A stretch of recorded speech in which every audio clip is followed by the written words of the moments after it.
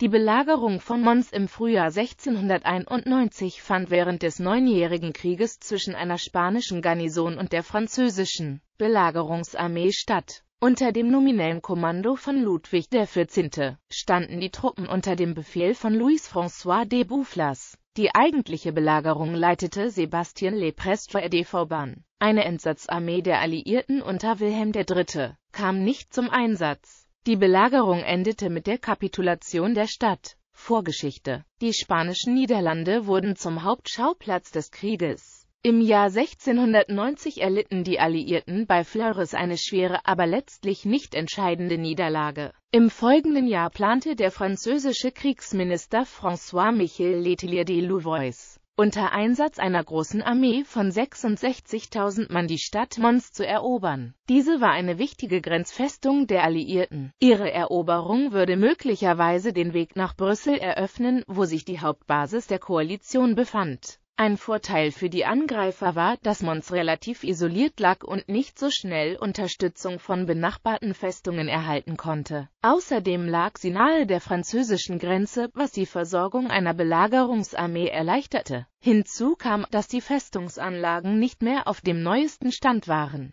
die Stadt mit etwa 5000 Einwohnern lag auf einem Hügel und war noch von einer mittelalterlichen Stadtmauer umgeben. Die neueren Festungsanlagen wiesen Schwächen auf. So gab es Bereiche vor der Stadt, die nicht vom Kreuzfeuer der Verteidiger erreicht werden konnten. Der schwächste Punkt lag im Osten in der Nähe des Berthemont-Tores. In der Stadt lagen nur 5000 Soldaten in ihren Winterquartieren. Die Belagerung wurde sorgfältig und vom Gegner unbemerkt vorbereitet. Es wurden große Lager mit Lebens- und Futtermittelvorräten angelegt und es wurden 20.000 Arbeiter für Schanzarbeiten zusammengezogen. Ebenso wurden die Belagerungsgeschütze aus 130 Kanonen und 45 Mörsern bereitgestellt. Verlauf Die Alliierten hatten mit einem Angriff auf Mons nicht gerechnet. Der Angriff erfolgte so früh im Jahr, als sich die Truppen noch in den Winterquartieren befanden. Die eigentlichen französischen Belagerungstruppen, etwa 40.000 Mann, wurden von Boufflers kommandiert. Eine weitere Armee aus 16.000 unter Louis de Crevant, Herzog von Humiris, sollte verhindern, dass benachbarte alliierte Festungen Soldaten zur Hilfe von Mons schicken konnten. Eine kleine Truppe von 5000 Mann beobachtete die gegnerischen Bewegungen bei Namur, HUY, Lüttich und Maastricht. Weitere 3000 Mann besetzten Trier, um die Brandenburger Truppen in Jülich und Kleve zu behindern. Die Belagerung begann am 15. März.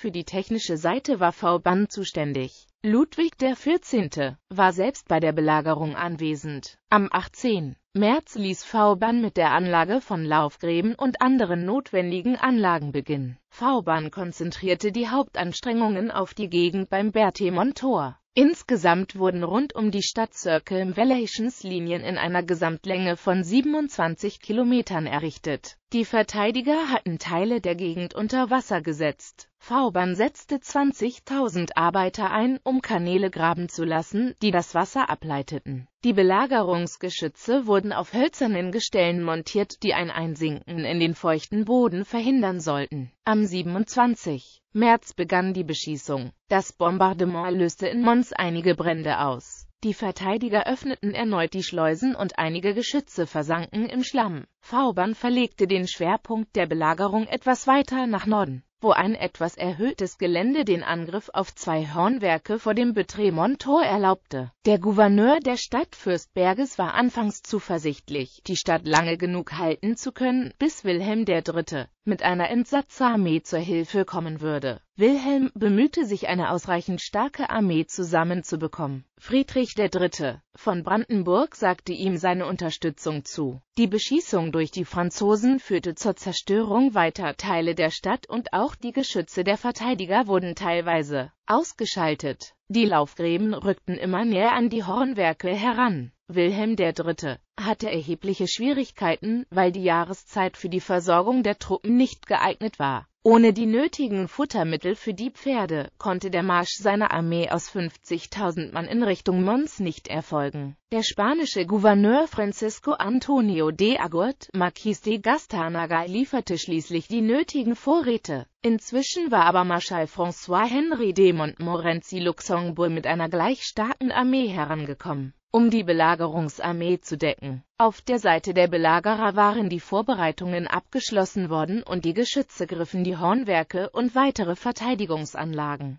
verstärkt an. Insgesamt wurden während der ganzen Zeit der Belagerung 106.000 Kanonenkugeln, 7.000 Bomben, 40.000 Granaten und 1.000 Tonnen Schießpulver verbraucht. Nach französischen zeitgenössischen Berichten führte die Beschießung zum Entstehen einer teilweisen Bresche und es kam zu einem ersten Sturmangriff der abgeschlagen wurde. Nach weiteren Beschießungen wurde eine zweite Bresche geschlagen und ein weiterer Angriff war erfolgreicher, was letztlich zur Aufgabe führte. Die neuere Forschung macht andere Gründe für die Aufgabe verantwortlich. Unter der Zivilbevölkerung wuchs nach der Zerstörung der Stadt der Drang nach einer Übergabe. Es kam sogar zu Demonstrationen unter der Führung von zwei Priestern, die eine Übergabe forderten. Als der Gouverneur mitteilte, dass Wilhelm III. nur noch wenige Tage entfernt sei, bekam er die Antwort, dass man sich lieber dem französischen König ergeben, als von einem Heretiker gerettet werden wolle. Zur Bereitschaft, die Stadt zu übergeben, hat sicher auch beigetragen, dass die Franzosen ankündigten, eine Kontribution von 100.000 Ecos für jeden Tag der Belagerung zu erheben. Unter dem Druck der Einwohner blieb dem Fürsten Berges nichts anderes übrig, als mit den Franzosen über eine Übergabe zu verhandeln. Folgen Es wurde eine ehrenvolle Kapitulation vereinbart und die Belagerung endete am 10. April nach dem Ende der Belagerung kehrte Ludwig XIV. nach Versailles zurück. Offiziell wurde der Erfolg als sein eigener Sieg angesehen und es wurden Dankmessen abgehalten. Zur Verherrlichung entstanden Gemälde, die die Belagerung zeigten. Für die Alliierten war der Verlust von Mons eine schwere Niederlage. Die Franzosen legten in die Stadt eine starke Garnison und begannen sofort die Befestigungen zu reparieren. Ein Großteil der Truppen kehrte zunächst in die Winterquartiere zurück. Während der Belagerung wurden, obwohl die Niederschlagung des irischen Aufstandes noch nicht völlig beendet war, die englischen Truppen von etwa 10.000 auf über 50.000 Mann in den Niederlanden stark aufgestockt. Dennoch blieben die Franzosen unter dem Oberbefehl von Luxembourg, nachdem der Feldzug wieder aufgenommen wurde, zunächst in der Offensive. Es wurde die Festung Halle im Mai des Jahres genommen. Bouffiers ließ Lüttich bombardieren. Im September schlug Luxemburg den alliierten Befehlshaber Georg Friedrich von Waldeck bei Leutze. Mons fiel 1697 im Frieden von Ryswick an die spanischen Niederlande zurück